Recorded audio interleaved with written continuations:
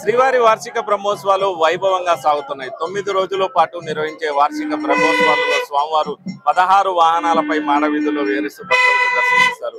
ఇక ఐదవ రోజు సాయంత్రం నుంచి ప్రారంభమయ్యేటటువంటి గరుడ వాహన సేవను ప్రత్యక్షంగా తిలకించేందుకు లక్షలాది మంది భక్తులు తిరుమల చేరుకుంటారు.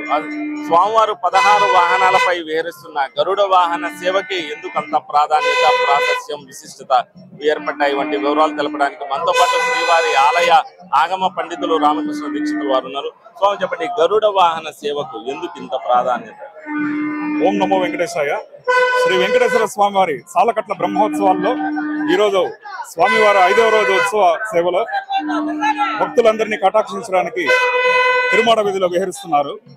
ఐదవ రోజు స్వామివారి సాలకట్ల బ్రహ్మోత్సవాల్లో చాలా విశేషమైనది.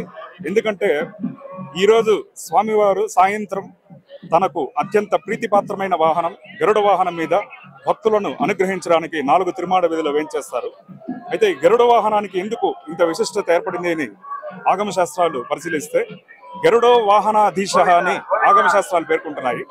అంటే స్వామివారు ఏ వాహనాన్ని అధిరోహించిన అందులో అంతర్లీనంగా గరుడుని యొక్క శక్తి కేంద్రీకృతమైతూ ఉంటుందని చెప్పి ఆగమశాస్త్రం పేర్కొంటుంది. ఏ వాహనంలో స్వామి ఉన్నా కూడా గరుత్మంతుడే సేవ చేస్తుంటాడు. మనకి భౌతికంగా వాహనం వేరే అయినప్పటికీ కూడా గరుత్మంతుడు సదా స్వామివారిని అంటుపెట్టుకొని ఆయనకి ఏ రకంగా అయినా పరిచర్యలు చేయడానికి సిద్ధంగా ఉంటాడని చెప్పి సంప్రదాయం పేర్కొంటుంది. అందుకే శ్రీ వైష్ణవ సంప్రదాయంలో గరుత్మంతుణ్ణి పిరి తిరువుడుగాను హనుమంతుల వారిని సిరియ తిరువుడిగాను కీర్తిస్తారు.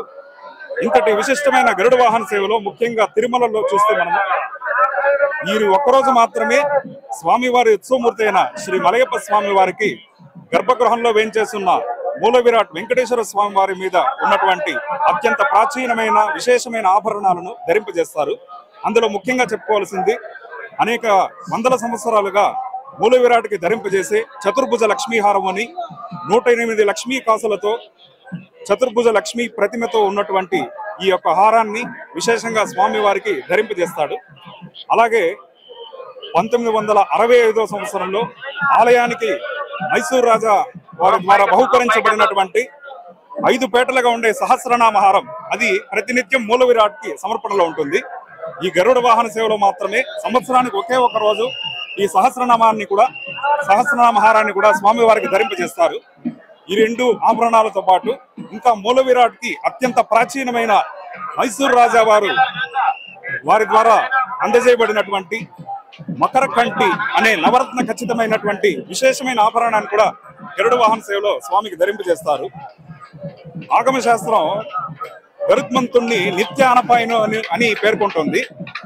ఆగమశాస్త్రం ప్రకారం ఆదిశేషుడు గరుత్మంతుడు విశ్వక్సేనుడు స్వామివారి అనుంగ పరివారము. వీరెప్పుడు సదా స్వామివారిని అంటిపెట్టుకుని ఉంటారు. అందువల్ల అత్యంత ప్రీతిపాత్రమైన తనకు ఇష్టమైనటువంటి గరుడ వాహన సేవలో స్వామివారు తిరుమాడ వీధిలో భక్తులను కటాక్షించడానికి నాలుగు తిరుమాడ వీధిలో విహరిస్తారు.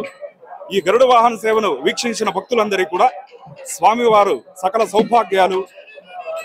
అంతేకాకుండా గరుత్మంతుడి యొక్క అనుగ్రహం ద్వారా జ్ఞాన ప్రాప్తి మోక్ష ప్రాప్తి కూడా కలుగుతుందని చెప్పి ఆగమ శాస్త్రం పేర్కొంటుంది. అది స్వామివారి మూల విరాట్కి అలంకరించేటటువంటి ఆభరణాలను గరుడ వాహన సేవ సందర్భంగా అలంకరిస్తారు. ఇక స్వామివారికి నిత్య సేవకుడైనటువంటి గరుడ పంతుడి వాహన దర్శనం చేసుకున్నటువంటి భక్తులకు సకల సౌభాగ్యాలతో పాటు జ్ఞానము సిద్ధిస్తుందని చెప్పి ఆగమ శాస్త్రం పేర్కొంటుందని చెప్పి కూడా ఆగమ పండితులు పేర్కొంటున్నారు. కెమెరా పర్సన్ రావంతో మోహన్ ప్రసాద్ ఎన్టీవీ తిరుమల నుంచి.